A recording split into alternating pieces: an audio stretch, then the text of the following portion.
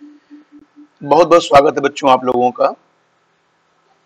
Abhyuday NDA maths की classes में। Last turn पर हम लोगों का जो डिस्कशन स्टार्ट हुआ था, वो स्टार्ट हुआ था अबाउट दी रिलेशंस और उसके टाइप के बारे में। आज हम लोग एनडीए में प्रीवियस ईयर में जो क्वेश्चंस आए थे, उनको वन बाय वन डिस्कस करते हैं। जो रिलेशंस पर बेस्ड थे। ठीक है? तो देखो बेटा 2014 मैंने 2014 का क्वेश्चन तुम्हारी स्क्रीन पर है। This question came your came in your examination NDA 2014 NDA one का बेटा ये क्वेश्चन है।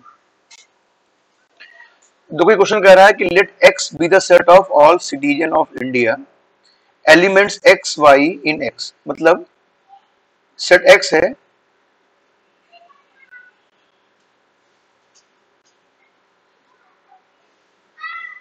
इसमें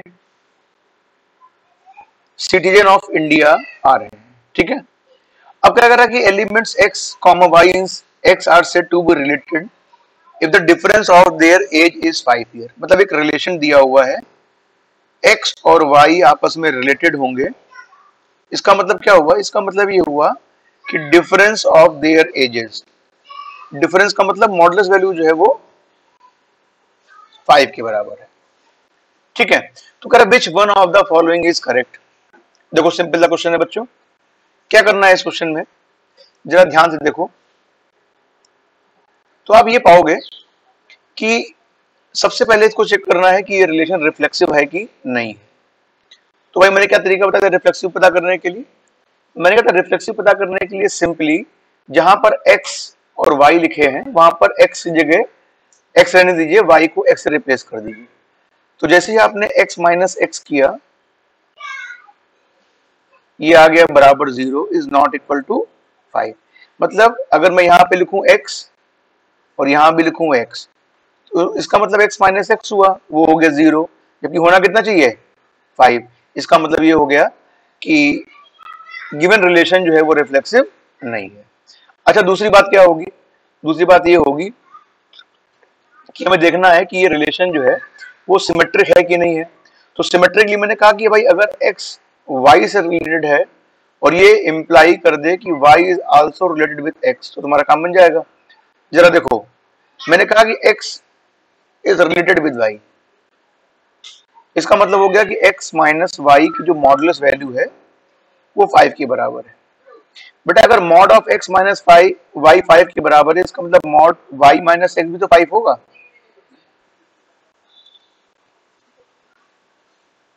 इसका मतलब क्या हो गया?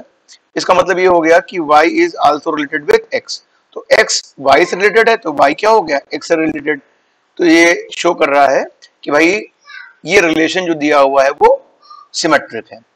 अच्छा अब जरा देखो ट्रांजिटिविटी देखना है, कि रिलेशन ट्रांजिटिव है कि नहीं है।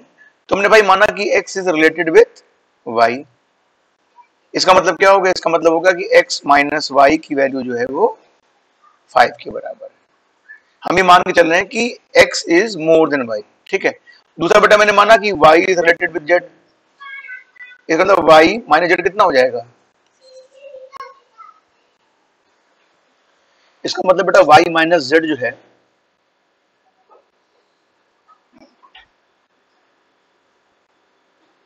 वो भी फाइव हो जाएगा। तो अगर हम इन दोनों इक्वेशंस को आपस में ऐड कर दें तो ऐड करने पे ये माइनस वाई वाला प्लस वाई कैंसिल हो जाएगा, मेरे पास आएगा एक्स माइनस जेड और ये हो गया टेन ये हमें इंटीमेट कर रहा है कि अगर x और y का डिफरेंस पाँच है, y और z का डिफरेंस पाँच है तो x और z का डिफरेंस पाँच नहीं है। इसका मतलब ये रिलेशन ट्रांजिटिव भी नहीं है। तो फाइनली हमारे सामने आंसर कौन सा सही लग रहा है? सुटेबल आंसर कौन सा है भाई? तो ए बी सी डी में पहला दिया relation is an equivalent relation possible नहीं है। क्यों पॉसिबल नहीं है? क्योंकि ये रिफ्लेक्सिव और ट्रांजिटिव नहीं है। The relation is symmetric but neither reflexive not transitive this is the correct answer reflexive तो पहले ही नहीं था सी बी और नन ऑफ़ दिस गलत हो गया। इसका मतलब B is the correct answer देखो बेटा इसमें क्या हो रहा है? ये क्वेश्चन तुम्हें दिया हुआ है।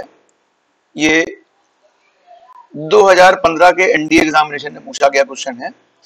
इसमें लिखा था कि let S denote set of all integers define a relation R on S और डिफाइन कैसे हो रहा है बेटा कि A is related with B कब कहलाएगा? अगर ए बी की वैल्यू पॉजिटिव होगी। ठीक है? और ए बी क्या है बेटा? एस को बिलोंग कर रहे हैं। अब मैं ऑप्शन चेक करना है कि कैसा रिलेशन है ये। तो बेटा सबसे पहली बात देखो तुम लोग यहाँ पर कि सेट ऑफ़ इंटीजर्स के बारे में बात करा जा रहा है।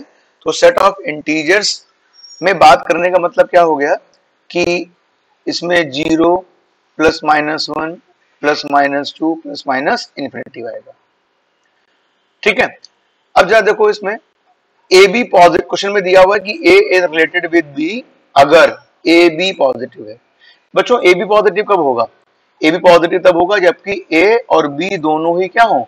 अलग अलग पॉजिटिव हो या दोनों नेगेटिव हो? मतलब ऐसे कह सकते हैं कि ए और B are of same sign अब इसी रिलेशन को मैं देखना है कि रिफ्लेक्सिव है कि नहीं है सिमेट्रिक है कि नहीं है ट्रांजिटिव है कि नहीं है। तो देखो बेटा, सबसे पहले मैंने कहा कि अगर किसी रिलेशन को रिफ्लेक्सिव देखना है तो जो यहाँ पे लिखा हुआ है, उसको ये बना दो। तो हमने कहा भाई कि A is related with A है कि नहीं? चेक करो। हमने क्या कहा बेटा? देखो बेटा, यहाँ पर ए इंटू ए आ जाएगा। A into A is greater than equal to zero अब जरा देखो ए इंटू ए हो जाएगा ए स्क्वायर तो A square is always greater than equal to zero होता है। ये रिज़ल्ट एकदम हंड्रेड परसेंट क्या है? ट्रू है। तो ये मैं कह सकता हूँ कि ये रिलेशन कैसा हो गया? रिफ्लेक्सिव हो गया। ये बेटा मैंने पूरा क्वेश्चन एक्सप्लेन कर दिया था और मेरी स्क्रीन हैंग कर गई। तो मैंने लगा कि यार, मैं एक्सप्लेन कर रहा हूँ, पूरा सामने आ रहा है। बाद में पता चला स्क्रीन हैंग कर गई है तो सारी चीज़ आई नहीं। इसलिए मैं दोबारा तुमको इस चीज़ को समझा रहा हूँ। अच्छा अब देखो बेटा, दूसरा क्या हो गया यहाँ पर? कि इसको रिफ्लेक्सिव तो हो गया भाई सिमेट्रिक है कि नहीं है? तो मैंने माना कि भाई A is related with R A is related with B है। इसका मतलब ए भी पॉजिटिव है। अच्छा तुम्हें पता है कि जो सेट ऑफ़ इंटीजर्स होते हैं, ये कम्यूटेटिव लॉ को होल्ड करते हैं। मतलब ए बी और बी ए बराबर होते हैं। तो अगर ए बी पॉजिटिव है बेटा तो बी ए भी तो पॉजिटिव हो जाएगा, नहीं होगा। हो जाएगा ना? तो B A is always greater than zero तो तुम्हें ये पता है कि अगर A is related with B और ये इंप्लाई कर दे कि B is related with A तो रिलेशन सिमेट्रिक हो जाता है। तो इसका मतलब रिलेशन क्या हो गया बेटा? सिमेट्रिक भी हो गया। मतलब दो चीज़ें हो गई रिफ्लेक्सिव भी हो गया सिमेट्रिक भी हो गया। नाउ द क्वेश्चन अराइज कि हाउ कैन वी जज whether the relation is transitive और नॉट तो भाई क्या किया जाए? इसके लिए हम लोग क्या करते हैं? इसको थोड़ा सा ऊपर कर दे रहे हैं, ऐसे। ठीक है? अब जरा देखो मैंने क्या किया कि मैंने कहा कि भाई ए रिलेटेड विद बी है and B is related with C है। इसका मतलब क्या होगा बेटा? A B is greater than equal to zero आ गया और B C is greater than equal to zero आ गया। आ गया ना? अच्छा अब देखो बेटा यहाँ पर क्या है? यहाँ पर है कि A and B both are of same sign और यहाँ पे बेटा क्या है? B and C both are of same sign ठीक है? अच्छा अब देखो बेटा मैं तुमसे अगर बात करूँ, समझो मुझे बात को। मैंने कहूँ ये बी निगेटिव है कुछ देर के लिए। तो ये भी निगेटिव हो जाएगा।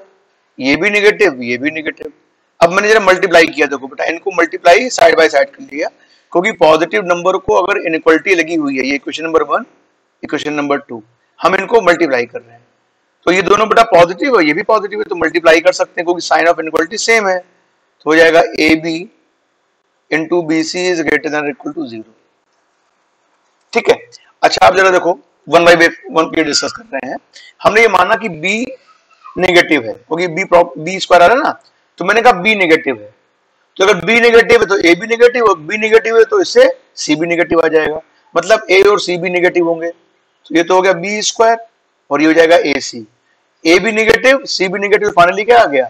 A C is greater than or equal to zero अब दूसरा मान लो बेटा ने माना बी पॉजिटिव है। बी पॉजिटिव तो ब्लड ग्रुप होता है ना? हम्म, ठीक है।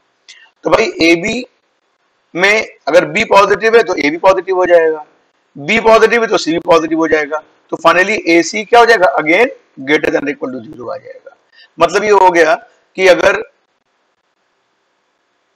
ए बी ए बी से रिलेटेड है और बी सी से रिलेटेड है, इसका मतलब ए सी से भी रिलेटेड हो जाएगा।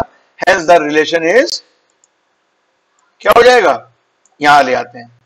And the relation is also transitive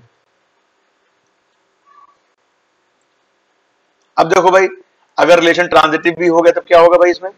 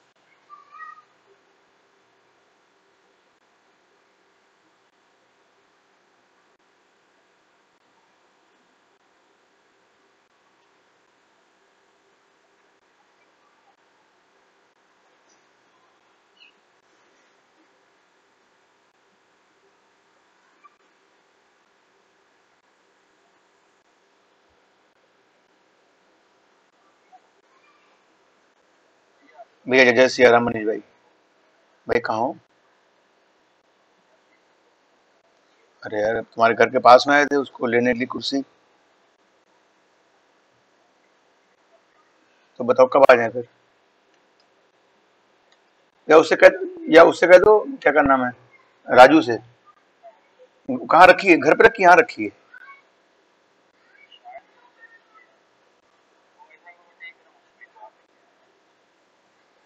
तो भिजवा के दो, उससे किराया दे देंगे उस कुर्सी से तो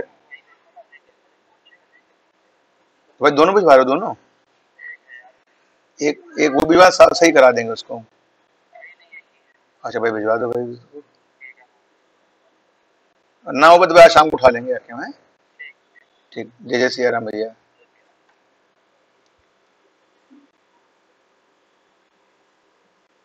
हाँ बड़े भाई बड़े भाई प्रणाम। बस अब आशीर्वाद एकदम। हम बस अब पढ़ा रहे थे घर पे हैं। जी जी, आदेश करिए।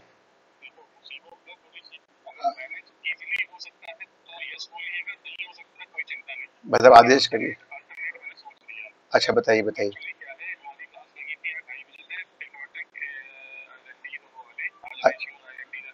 ठीक है ठीक है।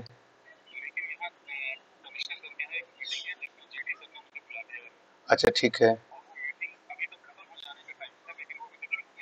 अरे बाप रे। हाँ।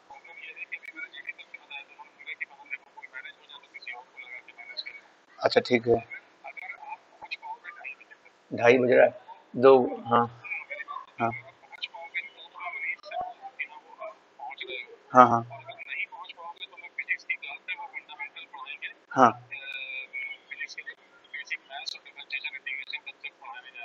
अच्छा। तो बड़े भाई कंबाइन करा लिए क्योंकि यहाँ से 45 मिनट लगता है मुझे पहुँचने में वहाँ तक। हाँ हाँ। अगर पाँच दस पंद्रह मिनट अगर, अगर कोई लेट पंद्रह मिनट चल जाए तो पहुँच जाए कहीं तो। मतलब ये देख लीजिए हाँ मतलब अगर पंद्रह मिनट दोनों ऑप्शन देख लीजिएगा। अगर पंद्रह मिनट लेट पहुँच जाए तो मुझे पाँच मिनट बता दीजिए मैं फटाफट निकल जाऊँ यहाँ से। और नहीं तो फिर वो कर लूँगा। जैसा आप बताइए। हम्म। मैं वेट कर रहा हूँ फिर फ़ोन का आपके। जी जी।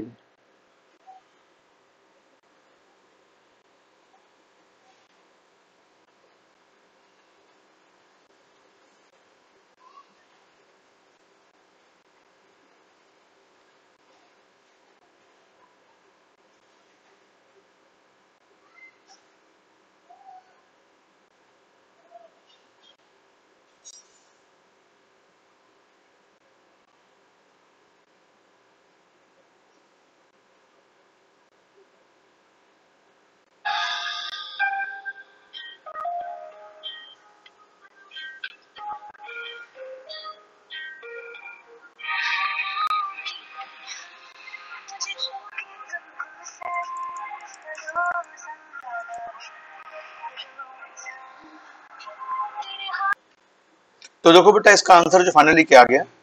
तो आप कहोगे कि ये रिलेशन रिफ्लेक्सिव भी है सिमेट्रिक भी है और ट्रांजिटिव भी है तो इसका मतलब एन इक्विवेलेंस रिलेशन आ गया। तो finally C is the correct option ठीक है ना? आसान से लग रहा है एकदम तुम लोगों को? देखो बच्चों, ये 2016 का क्वेश्चन है। कि the relation S is defined on the set of integers Z as X is related with Y. If integer X divides integer Y. बेटा अगर X जो है वो Y को डिवाइड कर रहा है, इसका मतलब क्या हो गया कि X जो है,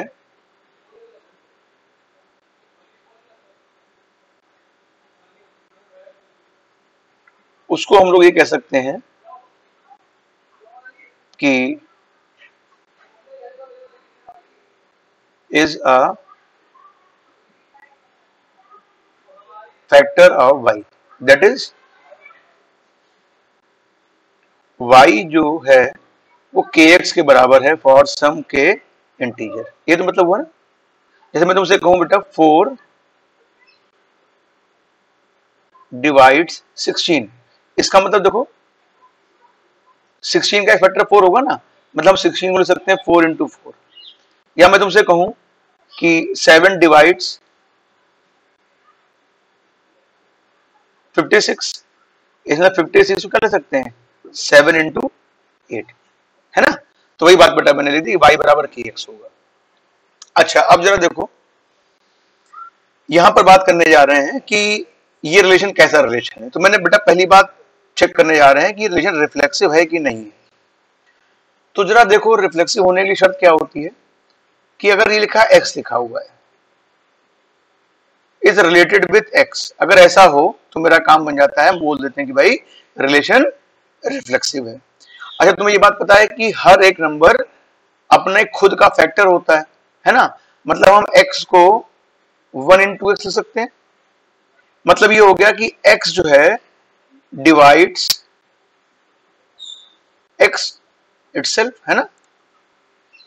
इसका मतलब क्या हो गया बेटा? ये जो रिलेशन है, वो रिलेशन कैसा हो गया? तो आप कहोगे रिफ्लेक्सिव रिलेशन हो गया। अच्छा अब बात आती है कि सिमेट्री की बात करते हैं। तो भाई देखो, x divides y does not imply y divides x क्यों भाई? जैसे हमने कहा कि 4 जो है, वो 24 को डिवाइड कर रहा है। But 24 is not dividing four है ना? इसका मतलब ये रिलेशन बेटा क्या हो गया? कि रिफ्लेक्सिव तो था, लेकिन सिमेट्रिक नहीं है। अब ट्रांजिटिव देखो बेटा। हमने कहा कि चार जो है, वो 24 को डिवाइड कर रहा है समझने के लिए। 24 48 को डिवाइड कर रहा है। तो इसका मतलब 4 40 डिवाइड करेगा, नहीं करेगा? यस करेगा। इसका मतलब ये रिलेशन कैसा हो गया? ट्रांजिटिव हो गया। ठीक है? तो जरा देखिए, इसमें कौन सा ऑप्शन सही है? तो देखो, इसमें कह रहा था कि S is an equivalent relation तो भाई, पहला ऑप्शन गलत। S is only reflexive and symmetric अभी तो देते लग रहा है, और देख लें। S is only reflexive and transitive sorry ये तो गलती था सिमेट्रिक था नहीं। S is only reflexive and transitive ये दिखाई पड़ रहा था। S is only symmetric and transitive symmetric था नहीं था तो option C is the correct option ठीक है? तुम लोग बात समझ में आ गई? क्वेश्चन रिलेशन फ़ंक्शन के समझ में आ रहे हैं। कैसे आसान से हो जाएँगे एग्ज़ाम में। चलो हम लोग नेक्स्ट क्वेश्चन पे जा रहे हैं। देखो बेटा नेक्स्ट प्रॉब्लम तुम्हारे सामने है कि इसमें है कि x be the set of all person living in a city ये 2015 एनडीए 2 में आया हुआ क्वेश्चन है। इसमें लिखा है कि person x y in x R set to be related as x less than y if y is at least five years older than x मतलब बेटा इसका मतलब क्या हो गया? इसका मतलब ये हो गया कि y की जो वैल्यू है, वो प्लस फाइव या मतलब y is at least five years older than x. मतलब कम से कम मतलब यहाँ दोनों मिला दो तो बेटा क्या जाएगा? y is greater than equal to x plus five अच्छा अब इसमें हमें चेक करना है जो रिलेशन दिया हुआ है मतलब x रिलेटेड विद i तो ये रिलेशन रिफ्लेक्सिव है कि नहीं है? सिमेट्रिक है कि नहीं है? ट्रांजिटिव है कि नहीं है? चेक करो। अब जरा देखो बेटा, हमने कहा कि भाई सबसे पहले इसमें y के स्थान पर x रख दो। तो भाई x is greater than or equal to x plus five सच की झूठ, आप कहोगे फॉल्स भाई कोई नंबर अपने से पाँच या पाँच से ज़्यादा बड़ा नहीं हो सकता है। तो इसका मतलब ये रिलेशन रिफ्लेक्सिव नहीं है। तो पहली बात हमने यहाँ पे लिख दिया कि relation is not a reflexive relation अच्छा दूसरी बात बेटा क्या है इसमें देखो जरा सा? सिमेट्रिक की। सिमेट्रिक की मैं तुमसे कहूँ कि एक्स जो है,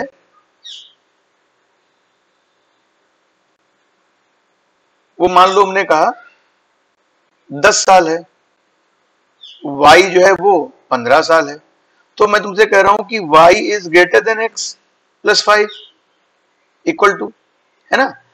लेकिन इसका मतलब डज नॉट इंप्लाई कि x is greater than equal to y plus five नहीं होगा ना? मतलब अगर x जो है, वो y से रिलेटेड है, इसका मतलब ये नहीं है कि y is also related with x. इसका मतलब क्या हो गया? कि भाई रिलेशन सिमेट्रिक भी नहीं है। अच्छा जरा देखो भाई, ये ट्रांजिटिव है कि नहीं है? तो भाई मैंने कहा कि y जो है, वो greater than or equal to x plus five है।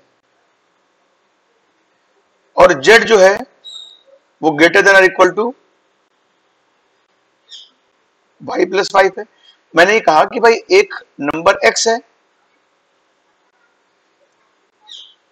दूसरा नंबर y है। y x से कैसे रिलेटेड है कि वाई एक्स से पाँच कम से कम साल बड़ा है। तो y is greater than equal to five हो जाएगा एक्स प्लस फाइव तो ये तुम्हारी क्वेश्चन नंबर बन गई वन दूसरा तुम्हारा क्या बेटा? दूसरा तुम्हारी वैल्यू है कि z is greater equal to y plus five जरा दोनों को ऐड कर दो तो दोनों को ऐड करने क्या मिलेगा? Y plus z is greater equal to x plus y plus ten y y cancel out होगा दोनों तरफ़ इक्वलिटी में पॉजिटिव वैल्यूज़ दी हुई है। तो z is greater equal to x plus ten बेटा, इसका मतलब हो गया कि z जो है, वो x से 10 साल बड़ा या बराबर है। अच्छा यहाँ पे वर्ड लिखा था y is at least five years older तो कम से कम पाँच साल बड़ा है तो इसका मतलब ये तो है नहीं भाई दस साल बड़ा है तो उसमें नहीं रिलेशन बनेगा बनेगा। तो z is greater than equal to x plus ten जो दिया हुआ रिलेशन उसको क्या कर रहा है? सेटिस्फाई कर रहा है। इसका मतलब ये ट्रांजिटिव रिलेशन तो हो गया है रिफ्लेक्सिव नहीं है और सिमेट्रिक नहीं है। तो इसमें चारों ऑप्शन में कौन सा ऑप्शन दिखाई पड़ रहा है? The relation is transitive but neither reflexive nor symmetric इसका मतलब option B is the correct option. तो ये क्वेश्चन तुम लोगों क्लियर हो गया है खूब अच्छे तरीके से। नाउ, हम लोग ये सीख चुके हैं कि किस तरीके से एक दिए हुए रिलेशन को क्वेश्चन पढ़ के किस तरह के अंदाज़ा लगाएँ कि वो कौन सा रिलेशन है रिफ्लेक्सिव है सिमेट्रिक है ट्रांजिटिव वगैरह वगैरह क्या क्या है, ये हम लोगों को इसको देखने के बाद में क्लियर हो गया। ठीक है भाई? कोई कंफ्यूजन तो नहीं है आप लोगों को? चलो हम लोग नेक्स्ट क्वेश्चन पे आते हैं। देखो बेटा, ये क्वेश्चन तुम्हारी स्क्रीन पर है। ये क्वेश्चन कह रहा है, ये 2016 एनडीए 2 में क्वेश्चन आया हुआ है। ये क्वेश्चन कहता है कि let x be the set of all person living in Delhi अच्छी बात है। Person A and B in X are set to be related मतलब एक रिलेशन कोई डिफाइन हो रहा है ए और बी में। If the difference of their ages is at most five year at most five year का मतलब क्या हो गया कि अधिक से अधिक पाँच साल डिफरेंस हो। ठीक है? तो अब इसमें चार ऑप्शन दिए हैं। इक्विवेलेंट रिलेशन है reflexive transitive not symmetric symmetric and transitive but not reflexive reflexive and symmetric but not transitive और जरा देखें इसको फटाफट। सबसे पहले जो रिलेशन दिया हुआ है बच्चों, उस रिलेशन को जरा मैथमेटिकल डेफिनेशन के फॉर्म में लिखें। तो ये कह रहा है कि the persons A and B in X are set to be related the difference of their ages is at most five year इसका मतलब क्या हो गया कि ए माइनस बी का जो डिफरेंस है, वो अधिक से अधिक पाँच साल है। मतलब ए माइनस बी जो है, वो less than equal to five है। ठीक है? बात समझ में आ गई? अब चेक करना मतलब ये रिलेशन समझ लो। एक्चुअली में जो हमें रिलेशन बनाना था, वो रिलेशन हम लोगों ने बना लिया। अब वन बाई वन करते हैं। सबसे पहले देखते हैं रिलेशन रिफ्लेक्सिव है कि नहीं है। तो मैंने क्या कहा था बेटा? मैंने आपसे कहा था ये जो बी है, इसको ए से रिप्लेस कर दो। तो मॉड ए माइनस ए कितना हो जाएगा भाई? Zero zero less than five होता नहीं होता है? यस होता है। इसका मतलब क्या हो गया? ये रिलेशन जो है, वो रिफ्लेक्सिव हो गया। ठीक है ना? ठीक है ना बेटा, एकदम समझ में आ गया? क्योंकि जो यहाँ पर एज की बात पर्सन की बात कर रहे हैं तो वो जो एक पर्सन ए है, वो अपने खुद से रिलेटेड है भाई। क्यों? क्योंकि एट मोस्ट फाइव ईयर का मतलब होता है कि उनका डिफरेंस ज़ीरो भी हो सकता है। तो ए माइनस ए सेटिस्फाई कर रहा है इस गिवन रिलेशन को। इसका मतलब क्या हो गया? कि भाई, ये रिलेशन रिफ्लेक्सिव है। और जरा देखते हैं ट्रांजिटिव है कि नहीं है? तो ट्रांजिटिव मैंने कहा था, भाई, अगर ए माइनस बी की value less than equal to five है तो सिंपली बी माइनस ए की वैल्यू भी less than equal to five होगी, है ना? इसका मतलब रिलेशन कैसा हो गया? सिमेट्रिक हो गया। अब जरा ट्रांजिटिव देखो। तो ट्रांजिटिव देखने के लिए हम लोग क्या कर रहे हैं? तीसरा पार्ट कि भाई हमने मान लिया ए माइनस बी जो है, वो फाइव है। अब यहाँ मॉड यूज़ नहीं कर रहे हैं, ये मान के चलने भाई ए बी से बड़ा है, ठीक है? और b माइनस सी जो है, वो क्या है? ये भी फाइव है। अब क्या बेटा, दोनों जोड़ दो। जोड़ने क्या मिलेगा? ए माइनस सी बराबर टेन मिलेगा ना? ऐसे लगा दो सॉरी लेस इक्वल टू तो लेस इक्वल टेन मिलेगा। मतलब a माइनस सी की वैल्यू क्या होगी? एट मोस्ट फाइव ना रह के, वो क्या होगी एट मोस्ट टेन हो गई। इसका मतलब रिलेशन ट्रांजिटिव नहीं है। तो कौन सा ऑप्शन सही भाई? तो मुझे दिखाई पड़ गया रिफ्लेक्सिव और सिमेट्रिक है बट नॉट ट्रांजिटिव इसका मतलब D is the correct option समझ में आ गई बात भाई? कोई कंफ्यूजन तो नहीं किसी को इसमें? नेक्स्ट क्वेश्चन जो है, वो आपके स्क्रीन पर है। वो ये कह रहा है कि suppose there is a relation star asterisks बोलते हैं बेटा इसको। हम लोग हम लोग आम बोल, बोलचाल भाषा में स्टार बोल दे रहे हैं। Between the positive number x and y माने एक्स और वाई जो है, कैसे नंबर है बच्चों? एक्स और वाई जो है वो पॉजिटिव है।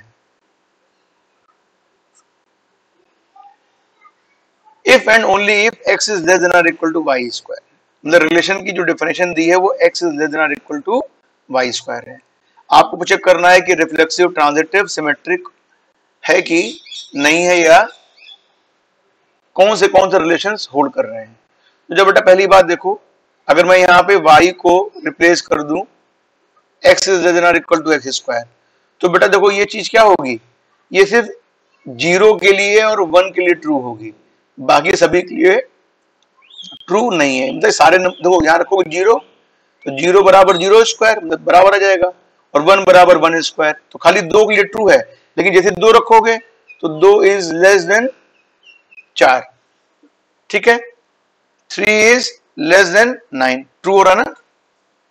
तो इक्वलिटी होल्ड कहाँ कर रही है? ज़ीरो के लिए और बाकी के लिए एक्स हमेशा less than or less than x square होगा।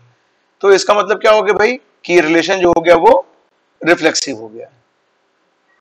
अब देखो बेटा दूसरी बात है। रिज़ल्ट नंबर टू देखो।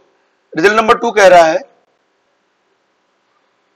कि x जो है वो less than or equal to y square है। तो इसका मतलब बात पक्की है कि y is less than or equal to x square ये हो भी सकता है और नहीं भी हो सकता है। जैसे मैं तुमसे कह दूँ कि two is less than twenty five, ठीक है ना? मतलब फाइव का स्क्वायर, है ना? मतलब इसको फाइव का स्क्वायर लिख दिया। तो क्या ये इंप्लाई कर रहा है कि five is less than or equal to two square नहीं होगा ना भाई। क्योंकि इधर फाइव आएगा, इधर चार आ जाएगा। इसका तो सिमेट्रिक ये नहीं है। अच्छा जरा देखो बेटा ट्रांजिटिविटी देखो, जरा चेक करो फटाफट। ये रिलेशन ट्रांजिटिव है कि नहीं है? तो हमने कहा, भाई देखो, समझो मेरी बात को एग्ज़ाम्पल के तौर पे। मैंने कहा कि, भाई, x is or equal to y square y is than or equal to z square ठीक है? तो क्या ये इंप्लाई कर रहा है कि x is than equal to z square क्या ये रिज़ल्ट ट्रू है? हाँ। कैसे पता तुमको ट्रू हाँ या ना? जल्दी बोलो। देखो, हमने बेटा एग्ज़ाम्पल ले लिया। हमने क्या लिया है? यहाँ पे तुम्हारे सामने लिखा हुआ है। हमने एग्ज़ाम्पल ले लिया कि x की वैल्यू फाइव ले ली। y की वैल्यू थ्री ले ली। और z की वैल्यू टू ले ली। देखो बेटा, पहली कंडीशन क्या है कि x is less than or equal to y square तो five is less than three square सही है गलत? ठीक है भाई, एकदम सही बात है कि भाई फाइव जो है वो नाइन से छोटा होता है, ठीक है ये। फिर मैंने कहा कि भाई थ्री जो है वो less than or equal to two square ये भी ठीक है भाई तीन हमेशा चार से छोटा होता है, ये भी ट्रू हो गया। तो अगर ये ट्रू है तो बेटा ये जो x इस जेड से रिलेटेड होना चाहिए मतलब five less than or equal to two square गलत हो गया ना? मतलब फाइव है ये, और ये टू स्क्वायर माने फोर हो गया। तो five is less than equal to four which is false इसका मतलब सिर्फ़ और सिर्फ़ एक रिलेशन हो रहा है, वो क्या है? आर जो है, वो रिफ्लेक्सिव हो रहा है सिमेट्रिक नहीं और ट्रांजिटिव नहीं है। तो तुम्हारा सवाल ये उठता है कि कौन सा ऑप्शन सही है? जरा देखो चार ऑप्शन में। पहला रिफ्लेक्सिव में दिया है और not transitive not symmetric transitive तो है ही नहीं। सिमेट्रिक एंड रिफ्लेक्सिव ये भी नहीं है। Symmetric but not reflexive and transitive इसका मतलब option A is the correct option तो बच्चों को हम लोग सीख चुके हैं कि किस तरीके से फ़ंक्शंस को देख के ये पता करना होगा कि फ़ंक्शन रिफ्लेक्सिव है ट्रांजिटिव है और या सिमेट्रिक है। तो इन टाइप के क्वेश्चंस को हम लोग कर चुके हैं। अब बेटा, हम लोग अपने next special kind of relation जिसे बोलते हैं इसका नाम है फ़ंक्शंस हम उस पर स्विच करने वाले हैं। बच्चों, हम लोग स्टार्ट करने जा रहे हैं about the special type of function sorry special type of relation which is called a function तो बात यहाँ पे आती है कि ये फ़ंक्शन कैसे स्पेशल काइंड ऑफ़ रिलेशन है। तो आइए एग्ज़ाम्पल देखते हैं।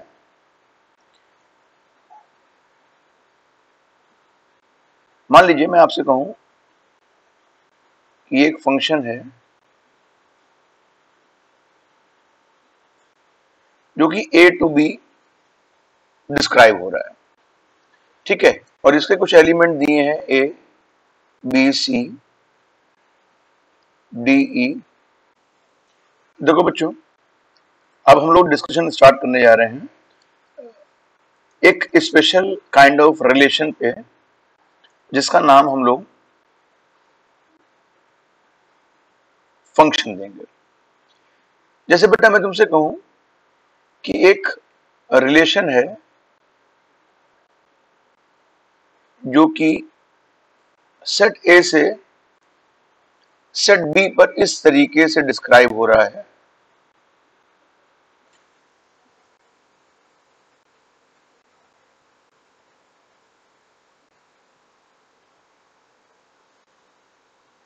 ए बी सी और सेट बी में है पी क्यू आर एलिमेंट मतलब से set A is containing A B C and set B is containing P Q R देखो बेटा यहाँ पर रिलेशन में क्या हो रहा था कि कोई भी एलिमेंट जो है, वो किसी से कितनी बार भी अटैच हो सकता था। लेकिन मैं यहाँ पर स्पेशल काइंड ऑफ़ रिलेशन की बात कर रहा हूँ। तो इसमें क्या हुआ कि ए जो है, इसका एक सिंगल साथी है पी बी है, इसका सिंगल साथी है क्यू और सी है, इसका साथी है क्यू तो आपने देखा कि ये जो पहला सेट ए था, इसमें जितने भी एलिमेंट दिए थे, उसमें कोई भी एलिमेंट एक से अधिक एलिमेंट सेट बी का जो है, उससे नहीं जुड़ा हुआ है। तो ये जो आपके सामने इस तरीके का रूल है, जो सेट ए के एलिमेंट को यूनिकली सेट बी के एलिमेंट से जोड़ रहा है तो ये रूल फ़ंक्शन कहलाएगा। ठीक है ना? तो फ़ंक्शन होने के लिए शर्त क्या है? फ़ंक्शन होने की शर्त, पहली शर्त यह है कि सेट ए के सारे एलिमेंट यूज़ होने चाहिए। मतलब all the element of set A must be use ठीक? और दूसरी बात क्या है?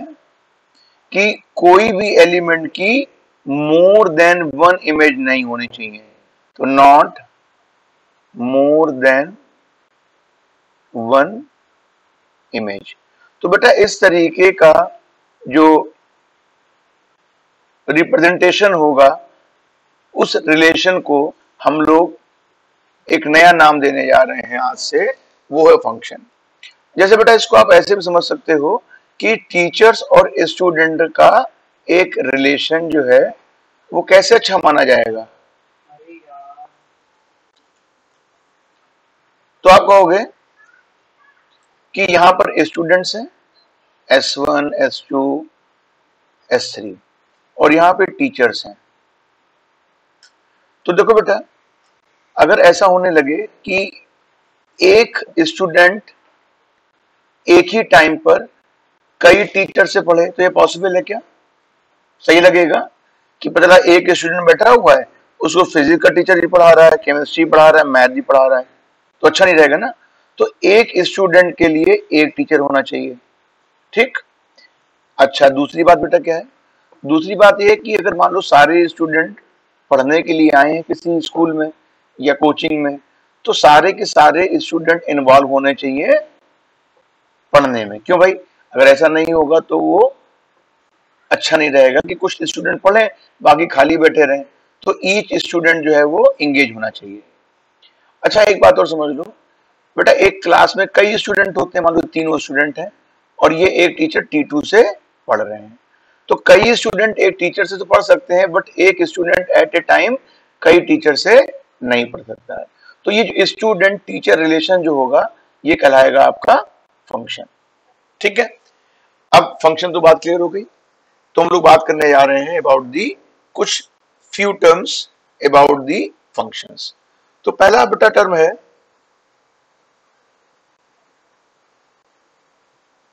Domain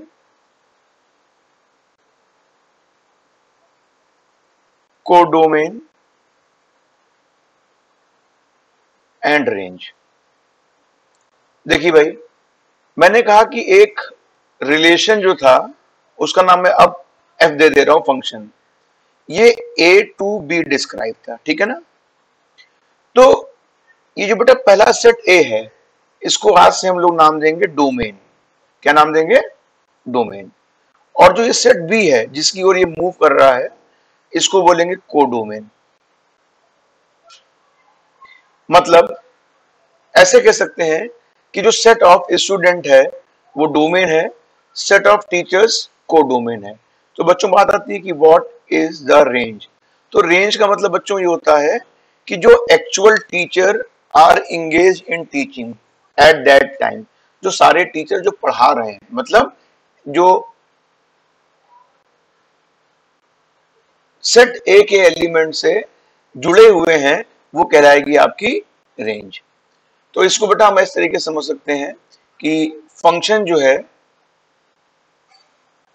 function as a machine बेटा इसमें क्या होता है? इसमें हम फ़ंक्शन को एज ए मशीन ट्रीट करेंगे आज से। क्या होगा भाई ये इसमें?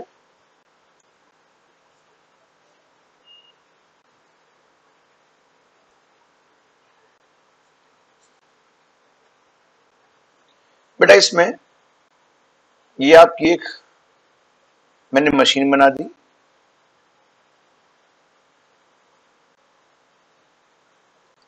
ये इसका इनपुट है और ये इसका आउटपुट है। तो इनपुट में एक्स जाएगा। ये मशीन है और इससे आउटपुट में एफ़ एक्स मिलेगा। तो बेटा ये जो जितने भी पॉसिबल इनपुट्स होते हैं,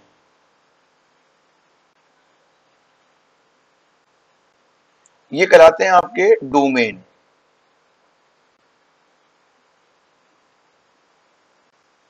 फिर पॉसिबल आउटपुट्स जो हैं बेटा, वो कहलाते हैं कोडोमेन और जो एक्चुअल आउटपुट होते हैं, वो कहलाते हैं आपके रेंज ठीक है? कोई दिक्कत तो नहीं इसमें? ठीक है भाई, तुम लोग फिर बात को आगे बढ़ा रहे हैं। जैसे मैं तुमसे कहूँ कि तुम्हारी एक मशीन है इस मशीन में एफ़ एक्स जो है, वो टू एक्स प्लस थ्री है। तो मेरा कहने का मतलब बेटा ये है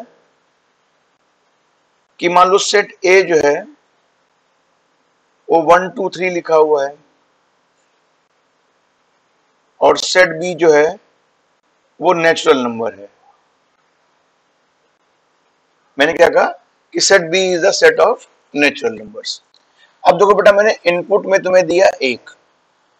तो आउटपुट में क्या मिलना चाहिए? आपने कहा आउटपुट ये मशीन क्या कर रही है? इस वन को टू टाइम में तीन जोड़ के दे रही है। मतलब आंसर कितना आ जाएगा बेटा? वन के ऊपर हमें मिल जाएगा फाइव फिर बेटा मैंने इनपुट में क्या दिया? दो दिया। दो दे रहे भाई। तो टू टू जा फोर प्लस थ्री सेवन मिल जाएगा। और जब बेटा मैंने इनपुट में तीन दिया तो क्या मिलेगा? तीन दूनी छ और तीन नौ मिल जाएगा। तो आपने फाइनली क्या पाया है भाई?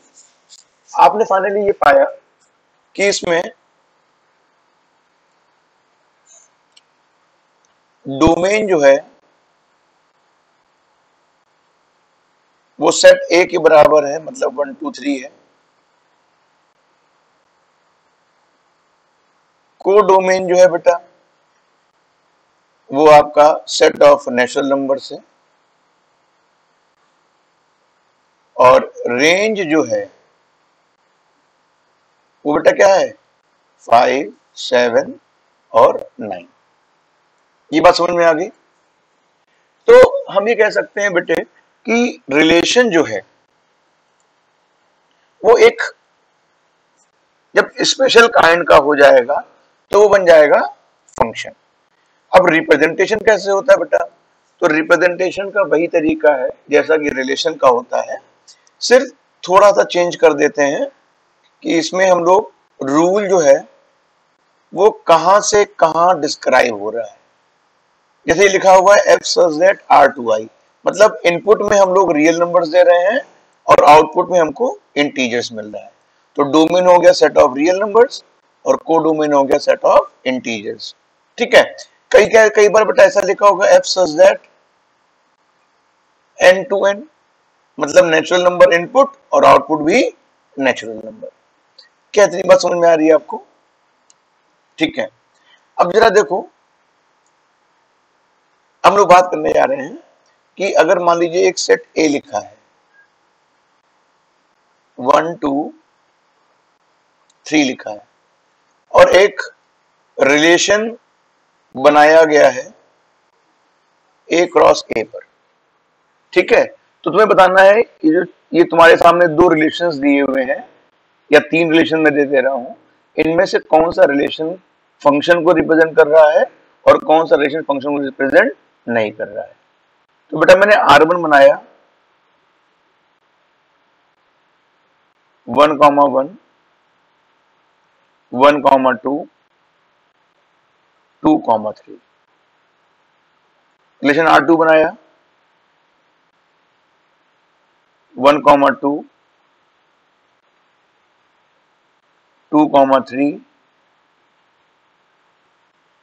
Relation R three बनाया। One comma two two comma three three comma one. तो देखो इन तीन रिलेशंस में से कौन सा रिलेशन जो है वो फ़ंक्शन रिप्रेजेंट कर रहा है और क्यों? तो जरा बेटा देखो कि सबसे पहला जो आर वन है, जरा ध्यान से देखो, इसमें वन की दो इमेजेस हो गई, एक हो गई वन और दूसरी हो गई टू बेटा एक बात मैं और बता दूँगा आप लोगों को, शायद मैं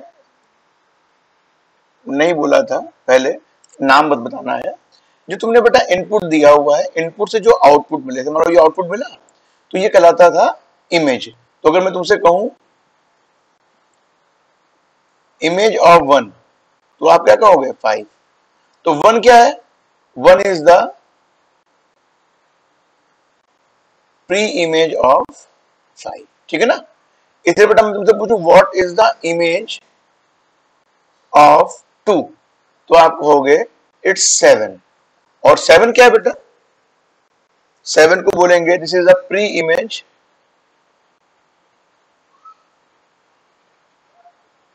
of seven तो क्या कह दोगे? ये टू ठीक है ना? कई बार बेटा फ़ंक्शंस को एक वर्ड और यूज़ करते हैं, जिसका नाम है मैपिंग तो functions are also called mapping from one set to another ठीक है भाई? तो जरा बात को आगे बढ़ा रहे हैं, जरा देखते हैं।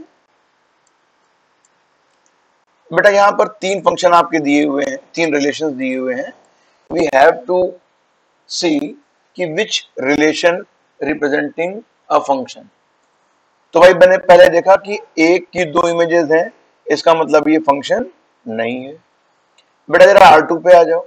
आर टू में वन टू और टू थ्री है, कोई बात नहीं, भाई एक एलिमेंट की एक इमेज है। लेकिन जो सेट ए का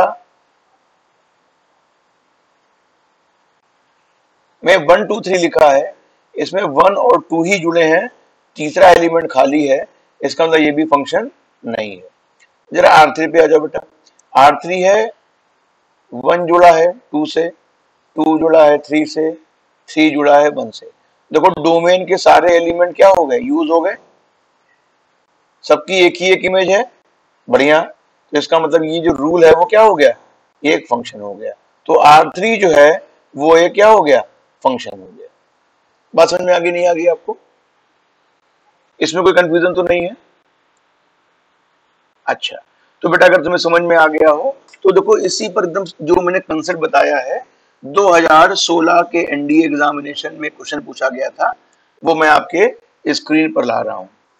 देखो बेटा क्वेश्चन तुम्हारे सामने लिखा है एनडीए 2016 का क्वेश्चन तुम्हारे सामने है।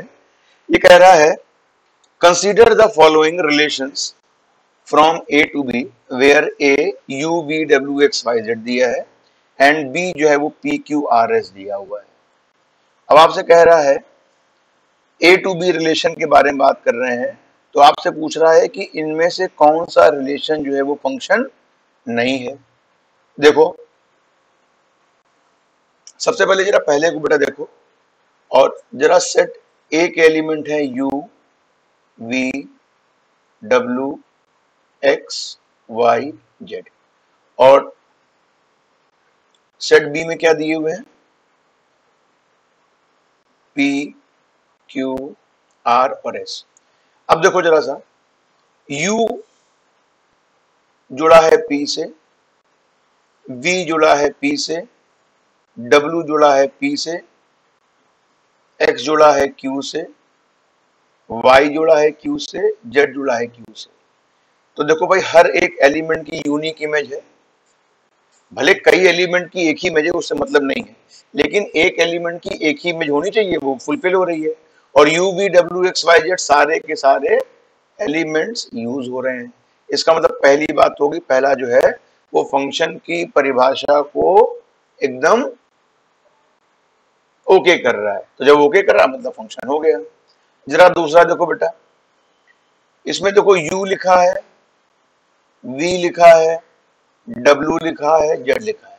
यू वी डब्ल्यू जेड है। लेकिन एक्स वाई कहाँ गए भैया?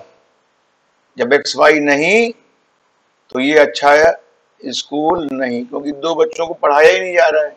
इसका मतलब ये एक रिलेशन है, ये फ़ंक्शन नहीं है। अब देखो यू वी डब्ल्यू यू अब देखो जरा यू की इमेज एस और यहाँ पे यू की इमेज पी मतलब यू ने क्या कर दिया? जो परिभाषा फ़ंक्शन की थी, उसको बदनाम कर दिया। तो जैसे बदनामी हुई तो फ़ंक्शन क्या हो जाएगा? फ़ंक्शन नहीं रहेगा, ये रिलेशन बन जाएगा। जरा देखो बेटा इसमें। U V W X Y Z सब यूज़ हो रहे हैं। सबकी यूनिक में इसका मतलब ये भी फ़ंक्शन है। तो सवाल तुमसे पूछा जा रहा था which of the above relations are not functions तो भाई तुम्हें क्या दिखाई पड़ रहा है तुम लोगों को? हाँ बोलिए। आपको दिखाई पड़ रहा है कि second and third are not a function इसका मतलब करेक्ट ऑप्शन इज़ सी हो गया भाई सेलेक्ट एनडीए में तुम लोग। सिंपल सा क्वेश्चन था ना? देखो बेटा, एक बात और समझ लो कि जैसे मान लीजिए कोई फ़ंक्शन जो है वो इस फॉर्म में लिखा है? A B C D E F G H तो इसके जो फ़र्स्ट फ़र्स्ट एलिमेंट है ए सी ई जी ये कहलाएँगे डोमेन ऑफ़ फ़ंक्शन तो डोमेन ऑफ़ फ़ंक्शन क्या हो गई? ए सी ई और G what is the range of function तो आप कहोगे सेकंड एलिमेंट्स जो है, वो इसकी रेंज कहलाएँगे। बी डी एफ़ और ठीक है ना? अब बेटा हम लोग बात करने जा रहे हैं about the real valued functions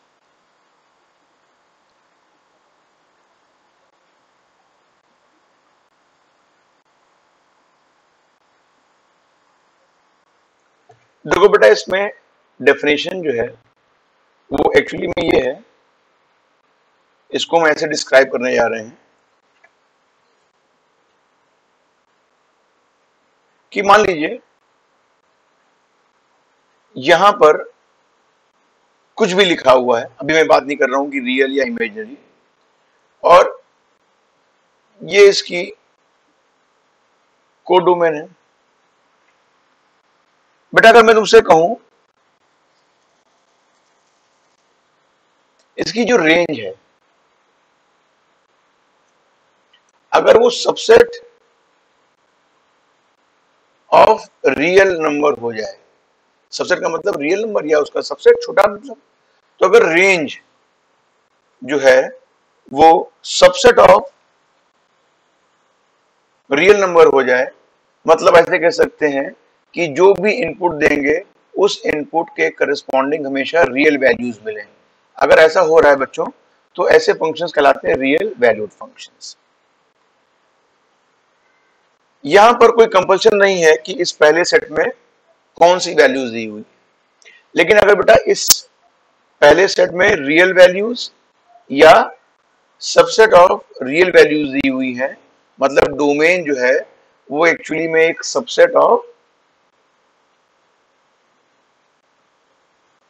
real numbers है तो ऐसे functions are called real functions तो बात होती है बेटा। दिमाग में आता है कि अगर हम लोग सर यहाँ पर बात कर रहे हैं डोमेन रियल वैल्यूज़ हैं और को डोमेन या जिसे रेंज बोल रहे थे, वो भी सबसेट ऑफ़ रियल नंबर्स है तो इनकी डोमेन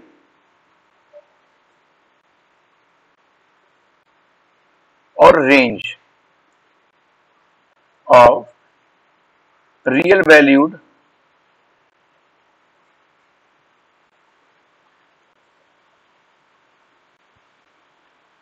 functions किस तरीके से फाइंड आउट करनी है, इस पर हम चर्चा करने जा रहे हैं। तो बेटा हम सबसे पहले बात करेंगे कुछ स्टैंडर्ड फ़ंक्शंस के बारे में और उनकी डोमेन और रेंज कैसे निकाली जाती है उसके बारे में। एक मिनट जल्दी से हम क्यों रिव्यू दे दे रहे हैं कि एक ग्राफ अगर दिया है बेटा तो उस ग्राफ को देख के कैसे बताओगे कि ये ग्राफ ऑफ़ फ़ंक्शन है कि नहीं है? जैसे मान लीजिए आपके सामने ये ग्राफ दिया हुआ अब आपसे पूछा जा रहा है कि भाई ये ये जो ग्राफ बना हुआ है, ये फ़ंक्शन का ग्राफ है या क्या है भाई? तो आप देखोगे कि भाई ये जो है वाई एक्सिस को तीन पॉइंट पे कट कर रहा है। और तीन पॉइंट पे कट करने का मतलब ये हो गया कि सबके बेटा एक्स एक है। मान लो ये तुम्हारा क्या है? एल एक्स के लिए यहाँ ज़ीरो है। ये अल्फ़ा हो गया। एक्स के लिए ज़ीरो ये बीटा हो गया। एक्स की वैल्यू ज़ीरो, ये गामा हो गया। तो आप क्या देख रहे हो? Alpha, beta, gamma. x की वैल्यू ज़ीरो के ऊपर we have three different values of y तो इसका मतलब बेटा क्या हो गया? ये आपका पूरा पूरा एक रिलेशन हो गया। फ़ंक्शन नहीं। लेकिन मान लो, कोई कर वैसा दिया हो कि जिसमें x axis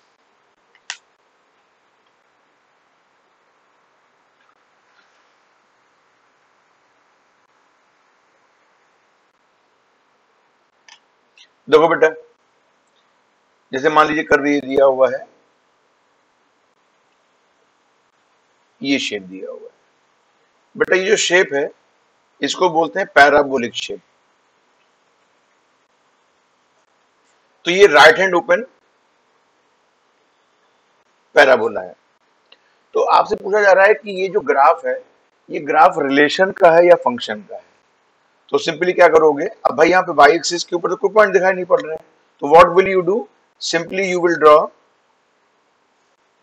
a line parallel to axis of Y इसने एक कर्व को कितने पॉइंट पे कट किया? तो आपने कहा कि इसने कर्व को दो पॉइंट पे कट किया और दो पॉइंट पे कट करने के कारण ये एक रिलेशन का ग्राफ है फ़ंक्शन का ग्राफ नहीं है। ठीक है? अब जरा बेटा दूसरा देखो। मैंने ये बनाया, एक ये बनाया।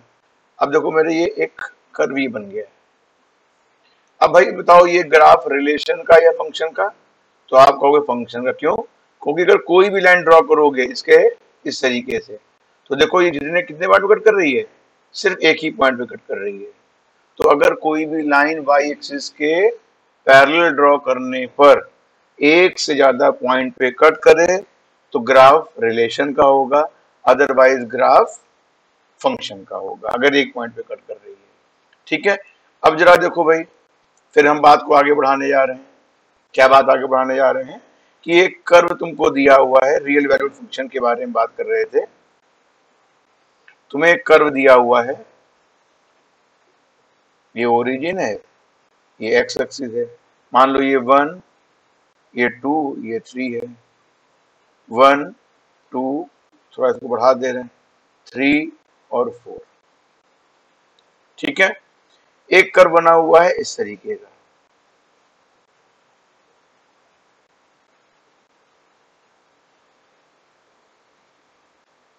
ठीक है? अब इस कर्व को देख के तुमसे कहा जाए कि भाई इस कर्व की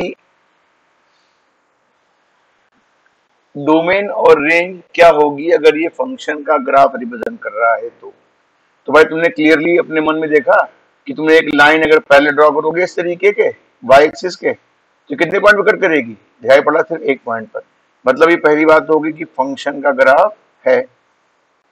अच्छा डोमेन क्या होगी बेटा?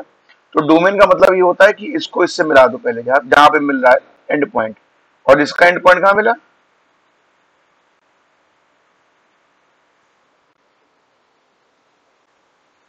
तो देखो बेटा, इसमें क्या हो रहा है कि हमने इसको इससे मिला दिया।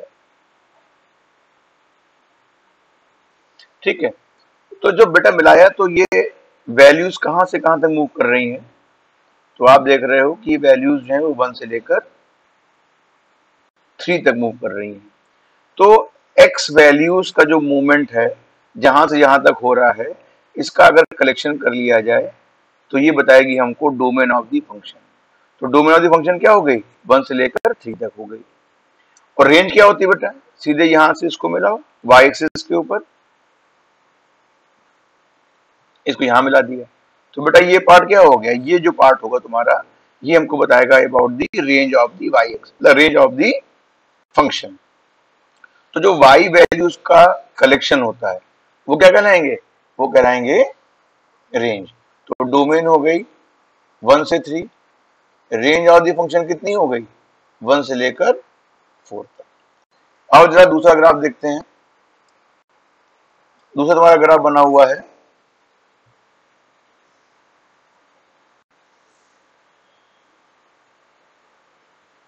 One two three four five one two three अब देखो बेटा क्या होगा इसमें?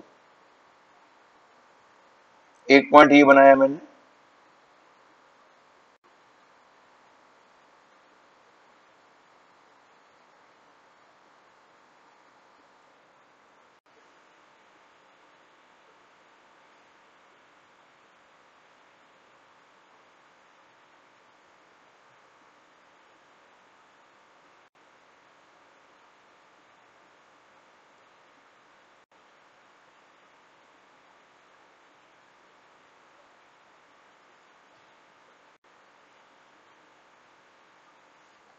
बेटा, इस फ़ंक्शन का हमें ग्राफ निकाल इस ग्राफ को देख के डोमेन और रेंज निकालनी है। तो डोमेन देखो बेटा, सबसे पहले जो जितने भी पार्ट है फ़ंक्शन के, उनको यहाँ पर इस तरीके से देखो। ये ओपन दिया हुआ है, इसका मतलब तीन इसमें शामिल नहीं है। इसको ऐसे बना दो। ये शामिल है, इसको ऐसे कर दो। अब ये ऑलरेडी जो पार्ट बेटा दिया देखो ये ओपन में है और एक्स एक्सिस पे ही है तो कोई मिलाने की ज़रूरत नहीं है। और ये कितना आ जाएगा? ये फाइव के ऊपर मिलके ऐसे बन रहा है। तो डोमेन बेटा क्या होगी इस ग्राफ की?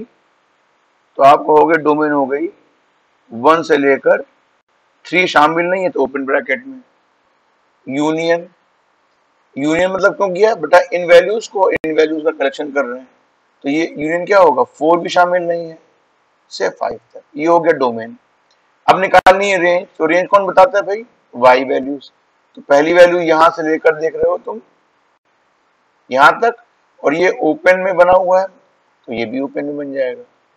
अच्छा ये देखो यहाँ पर फोर है तो जब इसको इससे मिलाएँगे तो यहाँ पे आ जाएगा। और ये कहाँ तक जा रहा है? ये थ्री तक जा रहा है। लेकिन देखो बेटा, जो वैल्यू यहाँ पे शामिल नहीं है, वो यहाँ पे शामिल हुई जा रही है।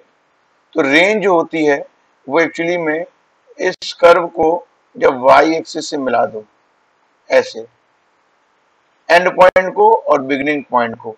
तो जितनी वैल्यूज़ मिलती हैं, वो रेंज कहलाती हैं।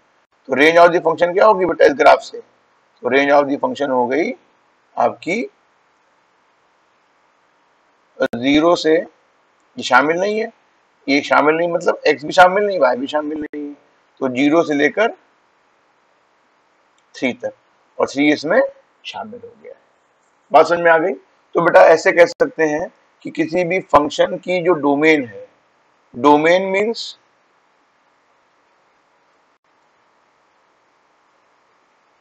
portion of X values. और कोडोमेन बेटा क्या होगी? Possible Y values. और रेंज क्या होगी? It is actual Y values. बात समझ में आ गई? अब जरा देखो बेटा, हम लोग बात करने आ रहे हैं रियल वैल्यूड फ़ंक्शंस की। तो सबसे पहले बेटा बात करेंगे हम लोग अबाउट द कांस्टेंट फ़ंक्शन बेटा कांस्टेंट फ़ंक्शन क्या होता है? तो कांस्टेंट फ़ंक्शन क्यों बताओगे। कांस्टेंट फ़ंक्शन बेटा वो फ़ंक्शन होता है जिसकी इक्वेशन एफ़ एक्स बराबर सी के फॉर्म में लिखी हो। मतलब यहाँ पर कोई भी एक्स ना हो। तो एफ़ एक्स का मतलब बेटा वाई होता है वाई बराबर एफ़ एक्स बराबर सी मतलब we are talking about a curve which is parallel to axis of X भाई parallel to axis of X है। तो अगर मैं तुमसे पूछूँ डोमेन क्या है कर्व का देख के तो डोमेन कहोगे आप it is all real values क्यों? देखो। ये देखो। ये क्या बेटा तुम्हारा ये तो पार्ट मिल रहा है। ये तुम्हारा माइनस इन्फिनिटी ये तुम्हारा प्लस इन्फिनिटी तो डोमेन ऑफ़ फ़ंक्शन क्या हो गया? आर अब देखो, जितने भी पॉइंट है बेटा, इनको वाई एक्सिस से बुला लो। तो एक ही पॉइंट तो मिलेगा ना? ये क्या मिलेगा? वाई की कितनी बेटा? सी तो रेंज ऑफ़ द फ़ंक्शन क्या हो गई? सी ठीक है? कोई कंफ्यूजन तो नहीं है इसमें। बेटा, दूसरा फ़ंक्शन होता है। जिसको बोलते हैं आइडेंटिटी फ़ंक्शन।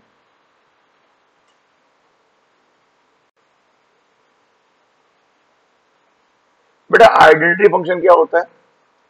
तो आइडेंटिटी फ़ंक्शन वो फ़ंक्शन है जिसकी equation y equals to F X is equal to X form में होगी।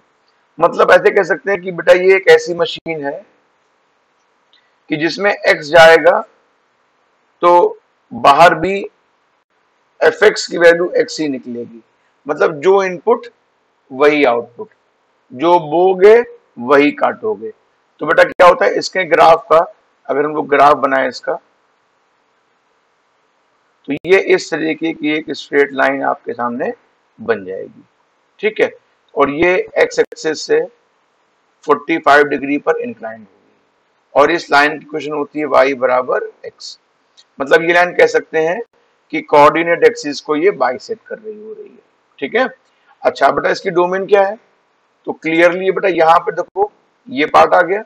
मैं पेन बदल दे रहा हूँ। देखो बेटा, ये पार्ट यहाँ पे आ गया, देखो ऐसे। और जब इसका, इस पार्ट का तुम लोगे, ये देखो, ये आ रहा है। और ये क्या बेटा माइनस इन्फिनिटिव ये तुम्हारा क्या? प्लस इन्फिनिटिव तो डोमेन ऑफ़ फ़ंक्शन क्या हो गया? आप all real values same for the range range भी क्या हो गई? ऑल रियल वैल्यूज़ ठीक है? कोई दिक्कत तो नहीं है इसमें? अच्छा बेटा हम लोगों ने दो फ़ंक्शन सीख लिए। एक फ़ंक्शन सीखा। कॉन्सेंट फ़ंक्शन दूसरा हम लोगों ने सीखा आइडेंटिटी फ़ंक्शन अब बेटा हम लोग तीसरा बात करने जा रहे हैं अबाउट दी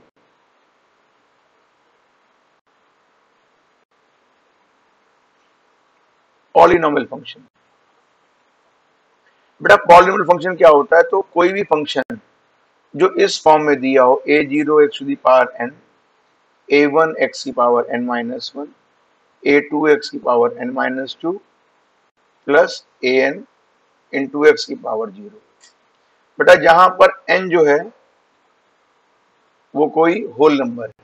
मतलब ज़ीरो से लेकर एन तक। और ए ज़ीरो ए वन और A N these are the real numbers तो बेटा ये जो फ़ंक्शन होता है पॉलिनोमियल फ़ंक्शन हमेशा इसकी जो डोमेन है domain of polynomial function always real values होती है. ठीक है ना? अच्छा और रेंज डिपेंड करेगा कि पावर इसकी किस तरीके की है. इवन पावर है या ऑड पावर है we will decide its range according to its power तो जैसे मैं तुमसे बात करूँ, एक स्टैंडर्ड पॉलिनोमियल फ़ंक्शंस के बारे में तो पहला फ़ंक्शन बेटा होता है एफ़ एक्स बराबर एक्स स्क्वायर फॉर्म में। अभी मैंने बताया था बेटा एफ़ एक्स बराबर एक्स स्क्वायर जो फ़ंक्शन है, उसका ग्राफ कुछ इस तरीके का बनता है। अपवर्ड पैराबोला क्या बन रहा बेटा? अपवर्ड पैराबोला तो इसकी डोमेन क्या होगी बेटा? क्लियरली बात है कि डोमेन इसकी ऑल वैल्यूज़ होगी, क्यों? आप चेक कर सकते हो।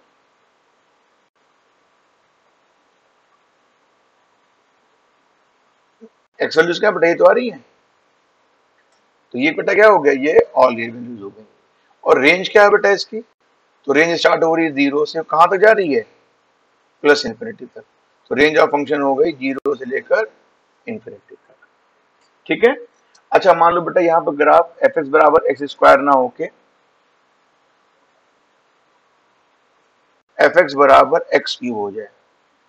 अब क्या हो जाएगा भाई? तो बेटा एफ़ एक्स बराबर एक्स क्यूब ग्राफ जो बनता है वो इस टाइप का बनता है। ये देखो। ये ओरिजिन है ये एक्स एक्सिस है वाई एक्सिस तो बेटा इसका डोमेन क्या हो गया?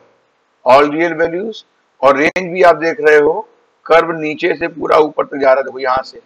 ये देखो वाई वैल्यूज़ इसकी जो है कर्व की, वो क्या हो रही है? नीचे से ऊपर तक, माने ऑल रियल वैल्यूज़ और डोमेन भी क्या हो रहा है? इधर से इधर पूरा जा रहा है मतलब ये भी ऑल रियल वैल्यूज़ हो जाएँगे। ठीक है? तो हमने ये देखा कि अगर इवन पावर है तो डोमेन क्या होंगी? पॉजिटिव रियल वैल्यूज़ साथ में ज़ीरो जोड़ देंगे। और अगर ऑड पावर है तो डोमेन और रेंज दोनों ही क्या होंगी? रियल वैल्यूज़ हो जाएँगी। ये बेटा स्टैंडर्ड फ़ंक्शन है, इनको ध्यान रखना। अगर ये फ़ंक्शन दिखाई पड़ जाए तो इन पर एकदम तुम टूट पड़ना, ठीक है? अच्छा अब मान लो बेटा दिया तुम्हारा।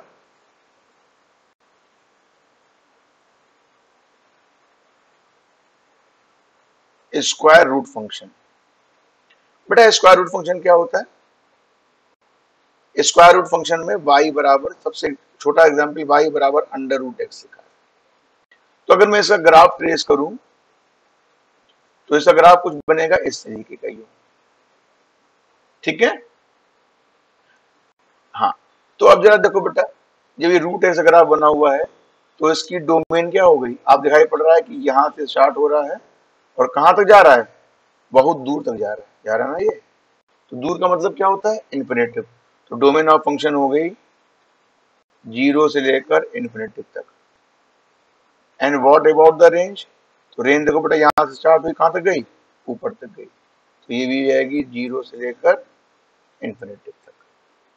मतलब आउटपुट जो होगा, वो भी पॉजिटिव होगा, और इनपुट तो पॉजिटिव होना ही होना है because we are talking about the real valued function ठीक है? अच्छा बेटा इसके बाद में आता है